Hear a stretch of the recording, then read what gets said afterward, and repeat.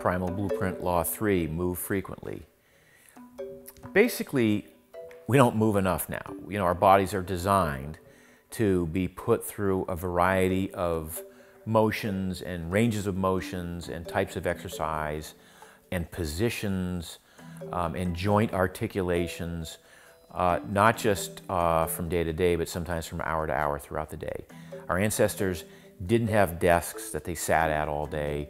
Uh, they didn't even have chairs to sit on for the most part, so they were constantly changing positions, moving around a lot, migrating, foraging, uh, and our genes expect this of us.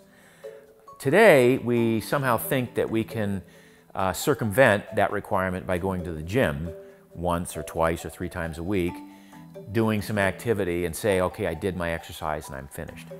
Um, the problem with that is we go back to the sedentary lifestyle. We sit on the sofa, we watch TV, we go back to the, to the desk, we work, uh, and we really haven't accomplished what we need to in the way of the expectation of our genes, which is to move.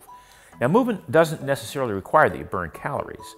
It isn't about uh, high heart rates all the time. It's just about putting yourself through ranges of motion, different planes of activity.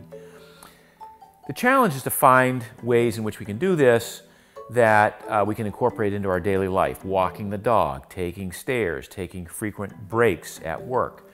Uh, all these things count as movement. Uh, even dropping and doing some push-ups or some air squats, uh, different types of movement throughout the day will maintain uh, the fluidity of our joints, the mobility of our joints, and all the things that we're looking for as a base of exercise.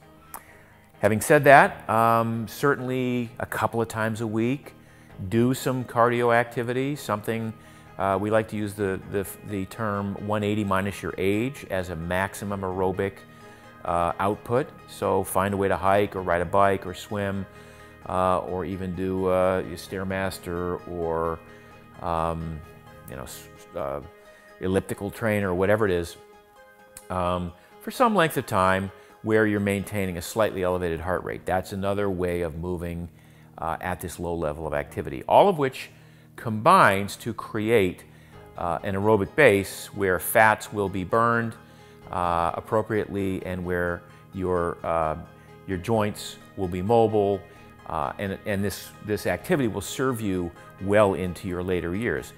In fact, I would argue that, uh, that longevity has two basic components, one of which is mobility. The other is access to cognition and memory, but mobility is a, is a critical part of longevity. One of the problems that people encounter is, when they, they do two or three hours of cardio a day sometimes, uh, and then don't do anything else the rest of the day.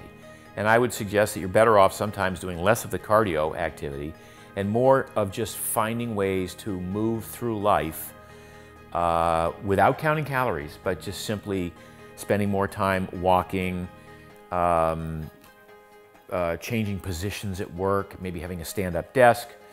Uh, you know, the, the, uh, the opportunity for finding different ways to move is almost limitless.